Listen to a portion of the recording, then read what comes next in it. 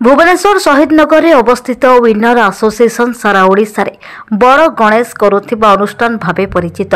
ଓଡ଼ିଶାର ସଂସ୍କୃତିକୁ ପାଳନ କରିବାକୁ ଅନୁଷ୍ଠାନର ଶ୍ରୀ କାର୍ତ୍ତିକ ପୂଜାର ପ୍ରଥମ ଦିନରେ କୁଆଖାଇ ନଦୀ କୂଳରେ ସଂକଳ୍ପ ପୂଜା କରାଯାଇ ପାଣି ଅଣାଯାଇ ପୂଜା ଆରମ୍ଭ କରାଯାଇଥିଲା।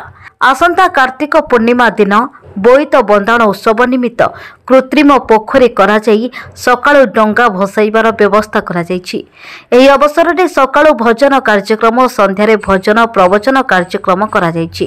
କାର୍ତ୍ତିକ ମାସ ବର୍ଷର ଶ୍ରେଷ୍ଠ ମାସ ଅଟେ। ଆମ ସଂସ୍କୃତିକୁ ବଜାୟ ରଖିବାକୁ ଆମ ପୂର୍ବପୁରୁଷମାନେ ଏହିସବୁ କାର୍ଯ୍ୟକ୍ରମରେ ନିଜକୁ ସାମିଲ କରି ମହାପ୍ରଭୁ ଶ୍ରୀଜଗନ୍ନାଥଙ୍କ କୃପା ଲାଭ କରିଥିଲେ। ଆମ ଗୁରୁଜନ ପୂର୍ବପୁରୁଷମାନଙ୍କର ଏହି ଅବସରରେ ହବିଷାନ୍ନ ପ୍ରସାଦ ପାଇବା ସହ ମହାପ୍ରଭୁ ଶ୍ରୀଜଗନ୍ନାଥଙ୍କ ପ୍ରତି ସମର୍ପିତ ଭାବ ବିନିମୟ କରୁଥିଲେ। ଏଣୁ ତାଙ୍କ ପ୍ରଦର୍ଶିତ ପଥ ଅନୁସରଣ କରିବାକୁ ଅନୁଷ୍ଠାନ ପକ୍ଷରୁ ଆହ୍ୱାନ ଦିଆଯାଇଛି। ଏହି କାର୍ଯ୍ୟକ୍ରମ ନଭେମ୍ବର ତେଇଶରୁ ଆରମ୍ଭ କରାଯାଇ କାର୍ତ୍ତିକ ପୂର୍ଣ୍ଣମୀ ଦିନ ଶେଷ ହେବ। ଭୁବନେଶ୍ୱରରୁ ବିଶ୍ୱଜିତ ଦାସଙ୍କ ରିପୋର୍ଟ।